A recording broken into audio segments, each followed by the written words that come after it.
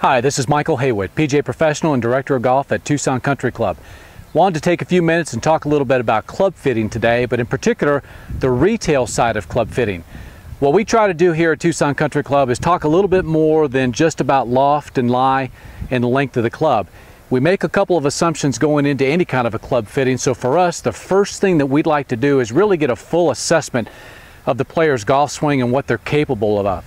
So what we will do is we will actually throw in a lesson as part of the club fitting process. While we will promote that we do not charge for a club fitting, we actually do charge for a mini 15 minute lesson to really iron out the, the kinks in a person's golf swing and then work our way into the club fitting. What I've found over the years is the fact that you know, we've talked a lot about certain things in the golf swing during a club fitting. We've made a lot of little corrections uh, to a player's golf swing. And what we really do, unfortunately, we take the focus away from the club fitting. And unfortunately, it becomes a little bit more about instruction. So we're kind of trying to turn the table a little bit and really promote our player development programs by, by promoting instruction prior to the club fitting, but also let it feed back in to the actual club fitting process. So when we do that, we see great success. In particular, I also make an assumption that, you know, when someone comes to us for a club fitting, uh, we really think that they're here to buy a set of clubs. Uh, so we really want to put on a good show and, and, really give them the information that they need uh, to make a good decision.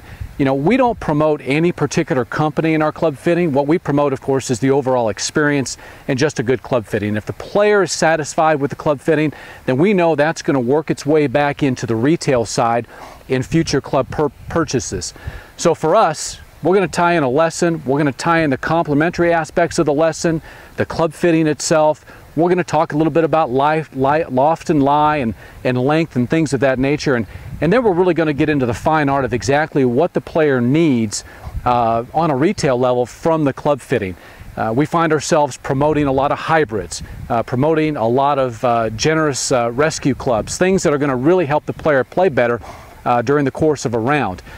We also, of course, promote great pricing.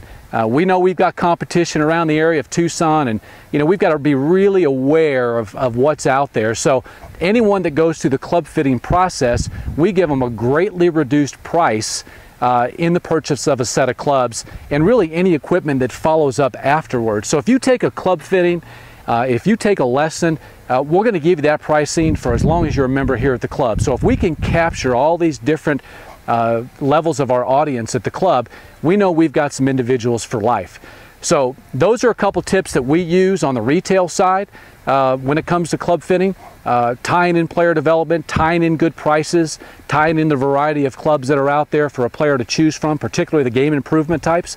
Uh, try a few of those things, and uh, you know if we could ever answer any questions to some of our techniques, give us a give us a call here at the club.